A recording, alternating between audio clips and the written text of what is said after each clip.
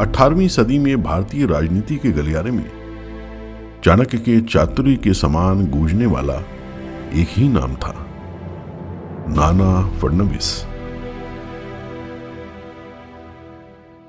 यूरोपीय इतिहासकारों ने जिन्हें आदर पूर्वक मराठा मैकिया वैली कहकर संबोधित किया, ऐसे नाना फडणवीस का मराठा साम्राज्य के अशांति काल में एक अद्वितीय शक्ति बनकर उभरना अपने आप में ऐतिहासिक था।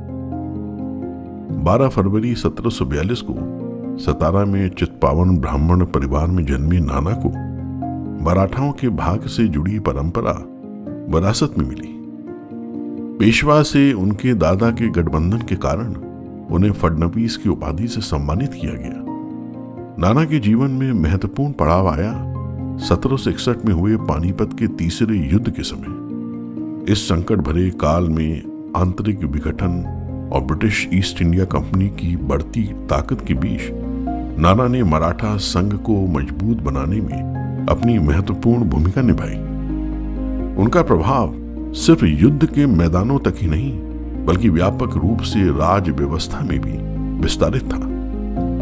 1773 में पेशवा नारायण राव की हत्या के बाद उन्होंने बारह भाई काउंसिल की स्थापना की।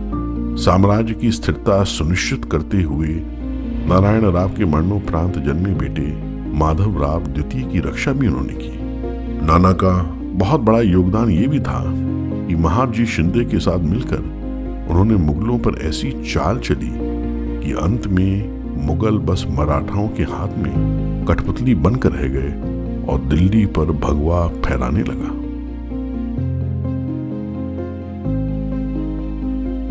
सन 1800 में मराठा चाणक्य नाना फडनवीस ने पुणे में अंतिम सांस ली। इस कुशल नेतृत्वकर्ता की मृत्यु न केवल एक युग के अंत की ओर संकेत कर रही थी, बल्कि उस मराठा संघ के पतन के काल की भी शुरुआत दर्शा रही थी, जिसने ब्रिटिश प्रभुत्व के बढ़ते खतरे के बीच भारतीय इतिहास के एक नए अध्याय की नींव तैयार की।